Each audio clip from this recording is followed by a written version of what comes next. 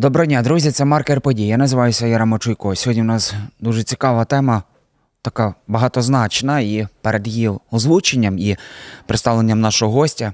Прошу вас обов'язково підписатися на наш YouTube канал, реагувати коментарями, лайками. Це для нас приємна мотивація робити продукт кращим і працювати краще.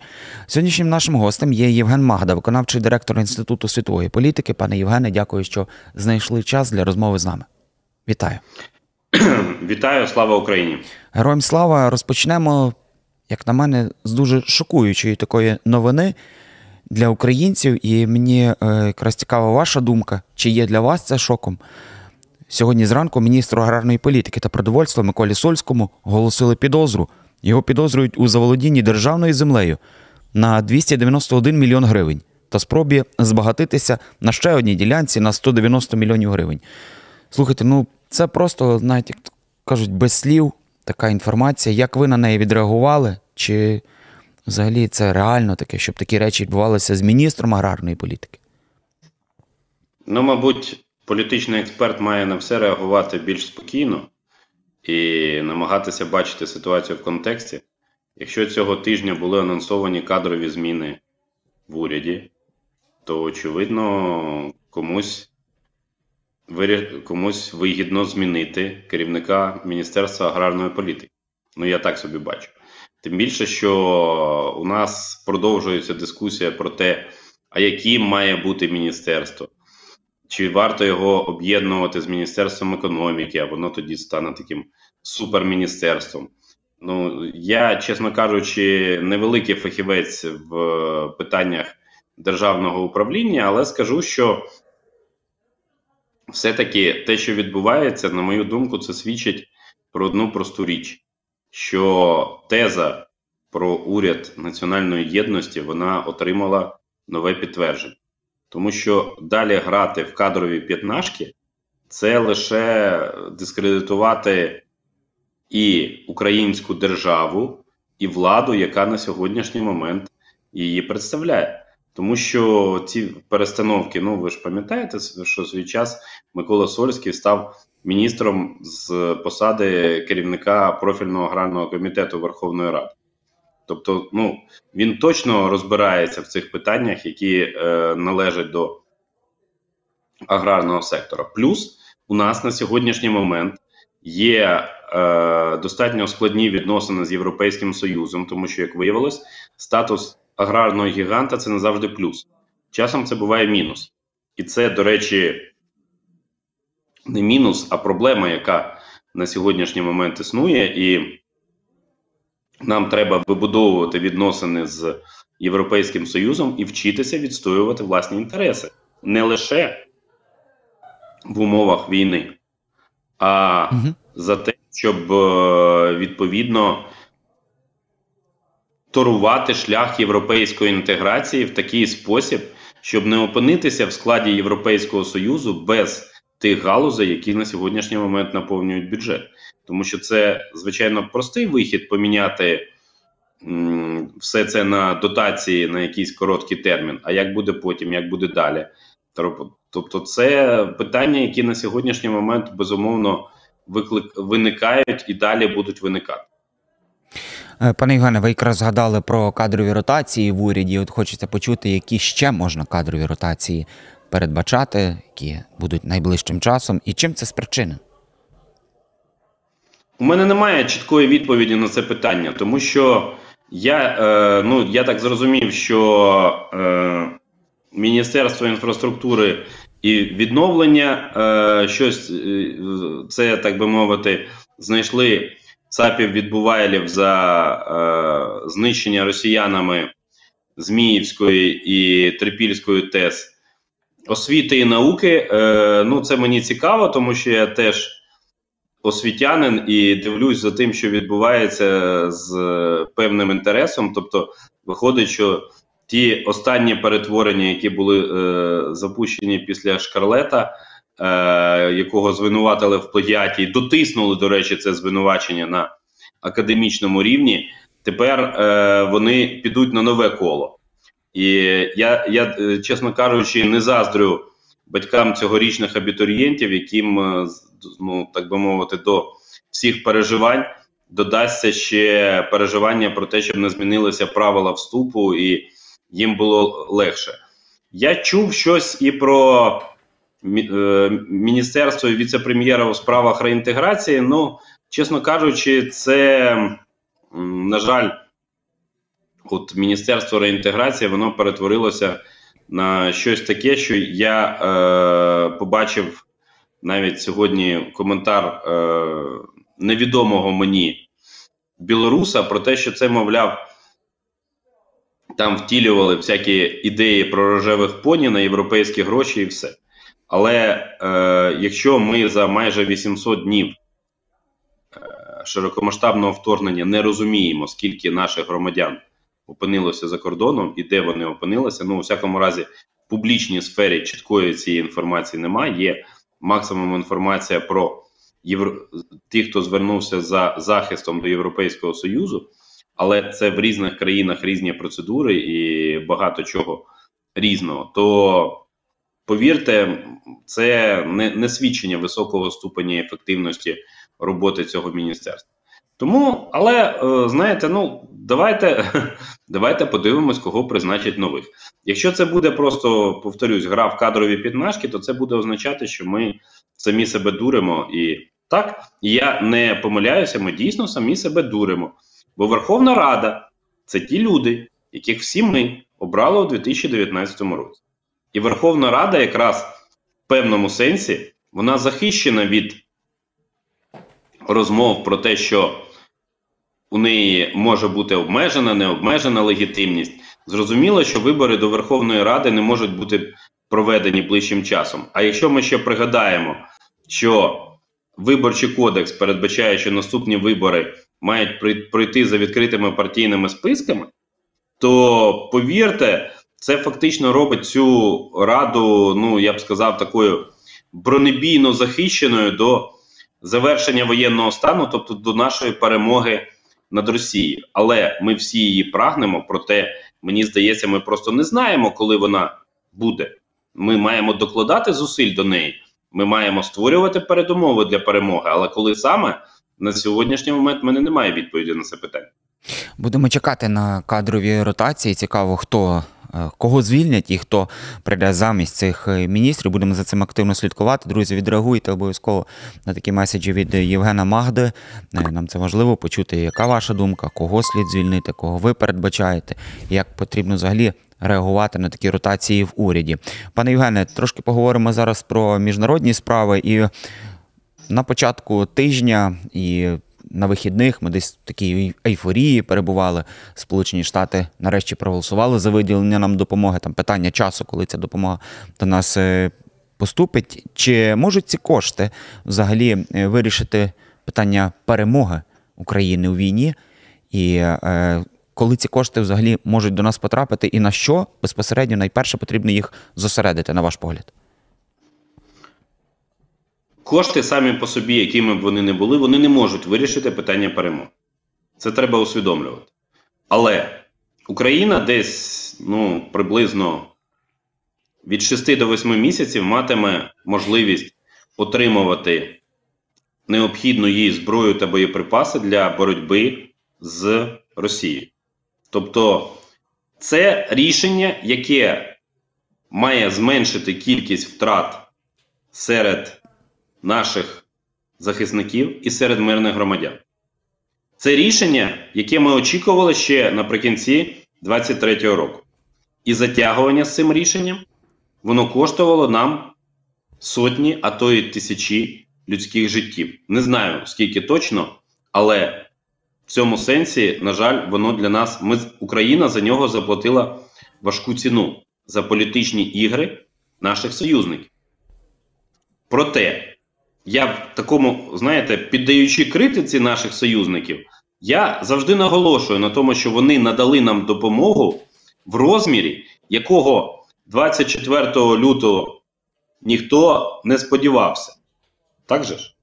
Ну, е, коли починалося широкомасштабне так, вторгнення. Так, тобто, саме так. на сьогоднішній момент ми справді отримали дуже і дуже багато. Але Росія проти нас використовує арсенал ще Радянського Союзу. Тобто при тому, що вона теж намагається технологічно вдосконалюватись, е, шукати е, можливості для застосування тих самих дронів активно. Ну, Вона не, не стоїть на місці. Ідея про те, що проти нас воюють чмобіки, вона насправді, е, ну, можливо, в пропагандистському сенсі вона мала певний підтекст, а в реальному, ну, на жаль, ні. І тому ми маємо усвідомлювати, що питання не в грошах. Питання в тому, що Україна отримала відновлення двопартійної підтримки з боку Сполучених Штатів. Питання в тому, що Україна тепер має можливість більш ефективно захищатися і має можливість озброювати своїх військових краще. Це означає, що це рішення має супроводжувати щонайменше активізацію в питанні мобілізації наших військовозобов'язаних в тому сенсі, що тепер, ну у всякому разі, захід, захід простягнув нам руку реальної тех, матеріально-технічної допомоги. До речі, один з меседжів російської пропаганди полягає в тому, що от е, нам тепер дали зброю, і Зеленський взяв на себе зобов'язання там набрати величезну армію. Ну, це меседжі російської пропаганди. На них реагувати не варто. І тим більше я вже не раз говорив про це: що якщо ви в Україні читаєте російськомовний телеграм-канал анонімний, який присвячений подіям в Україні, який розповідає там про різні жахи ТЦК, угу. ще щось про майбутні успіхи Росії, то ви просто сидите на гачку російської пропаганди. Зістрибніть звідти, доки не пізно, тому що вона шкідлива, вона не промиває мізки, вона їх знищує. І це правда, тому що насправді російська пропаганда працює за, ну я б сказав, цинічними, надзвичайно цинічними і антиукраїнськими методичками. І, звичайно, що їхня мета знищити нас, при тому знищити, розваливши українську державу зсередини. Ви знаєте, не дуже така е, популярна теза дивитися вже у 2025 рік, але все ж таки, як нам потрібно діяти, щоб у наступному році, 2025-му, ми знову е, не надіялися на республіканців. Якось цього року було і не було цих нервів, переживань. Як потрібно діяти, що потрібно змінити в своїй позиції? Перше, потрібно знати, що в листопаді 2024 року разом з президентом Сполучені Штати будуть обирати Палату представників. І, власне, ця навколо українська штовханина вона викликана в тому числі прагненням діючих депутатів, діючих конгресменів позиціонуватися та визначити свою позицію в контексті партійній матриці, скажімо так. По-друге, треба працювати з середовищами демократичної республіканської партії, різноманітним.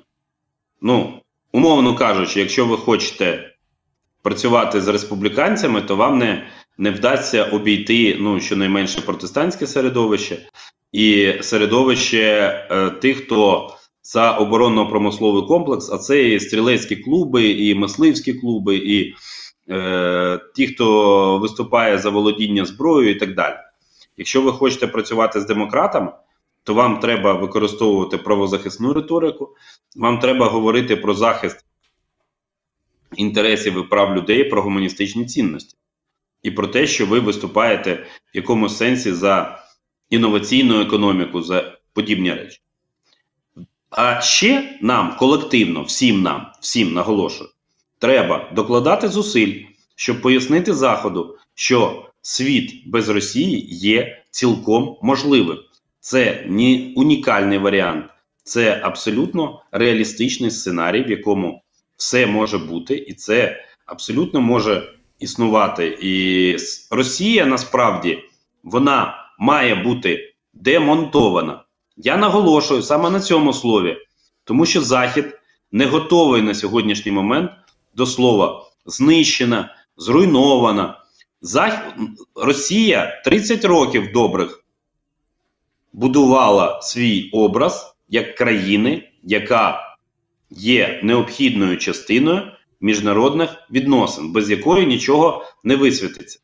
І очікувати навіть, що за 800 днів це буде зруйновано, якщо якби був інтенсивний тиск в цьому питанні. Це трошки наївно. Тут працюють певні закони фізики, фізики часу, правда ж? Тому що те, що створювали 30 років і на що працювала потужна пропагандистська машина в різний спосіб і з різною ефективністю, розраховувати, знищити просто якимись кавалерійськими наскоками чи підпільними ударами, е, ну, як на мене, надзвичайно складно. Треба говорити про це системно. Я не знаю, чому Україна про це не говорить. Я не розумію, чому ми не використовуємо той факт, що у нас є моральне право вести відповідну дискусію, бо ми стали жертвою неспровокованої агресії, яка перетворилася на найбільшу війну у світі. І Захід має розуміти, що в разі успіху у війні проти України Росія не зупиниться. Що російський ведмідь ніколи, який став людожером в Україні, вже більше ніколи до вегетаріанського чи веганського стану не повернеться. Це, вибачте, закони дикої природи, і вони саме так працюють. Сподіваємося, що захід е, це зрозуміє так остаточно вже. Пане Євгене, в нас залишається десь 2-3 хвилини ще у слоті часу для розмови. Але я хочу, щоб ви прокоментували те, що Польща готова розмістити на своїй території американську ядерну зброю. Про це напередодні заявив польський президент Анджей Дуда. Як ви прокоментуєте ось таку заяву і таку тенденцію? Теза про готовність розмістити ядерну зброю звучить не вперше. Про це говорили ще за попереднього уряду, за уряду Матеуша Моровецького, коли віце-прем'єром з питань е, силових структур Польщі був Ярослав Качинський, якого називали тоді сірим кардиналом польської влади. В цьому є логіка, тому що Польща себе позиціонує і небезпідставно позиціонує як головного союзника Сполучених Штатів в Європі, найбільш послідовного і найбільш відданого. Але тут є ще один фактор: фактор того, що під час парламентської кампанії військо польське було втягнуто в неї попри власну волю. І були з одного боку елементи масованої закупівлі озброєнь. Ну, це все було зрозуміло після 24 лютого 2022 року. І це не відкидає того факту, що Польща надала Україні масштабну і часто надзвичайно своєчасну допомогу саме військово-технічну. Але проблем війська польського це не зменшило. І коли були змушені е, в Міністерстві оборони Польщі відмовитись від участі польських військовослужбовців у навчаннях Драгон 24 і відповідальний захисник 24, тому що загинули в інцидентах п'ятеро польських військових в інцидентах на навчання. Тобто, це дуже тривожний сигнал щодо боєготовності, щодо е, того, як відбувається ця ситуація. Я б не сказав, що Анджей Дуда виступає виключно в ролі ну, такого геополітичного пожежника, що давайте там ядерну зброю. Ну це насправді далеко не так працює, як це намагається вказувати це саме Росія і так далі. Але зрозуміло, що Польща намагається використати політичні інструменти для того, щоб убезпечити себе від можливої російської агресії. Це факт і факт, який ми теж маємо враховувати. А ми зі свого боку маємо говорити нашим партнерам, що нам треба розвивати військово-технічну співпрацю. Нам треба розвивати співпрацю в енергетичній сфері, будувати інтерконектор. Нам треба обмінюватись досвідом протидії дезінформації. Тощо ми маємо працювати разом і долати ті суперечності, які на сьогоднішній момент існують. Почули вас. Дякую вам за таку світлу і цілісну думку. Євген Магда, виконавчий директор Інституту світової політики, спілкувалися сьогодні в проєкті Маркер подій. Я називаюся Єрема Чуйков. Всіляких вам гараздів. Обов'язково підпишіться на нас на наш Ютуб канал. Почуємося. До побачення.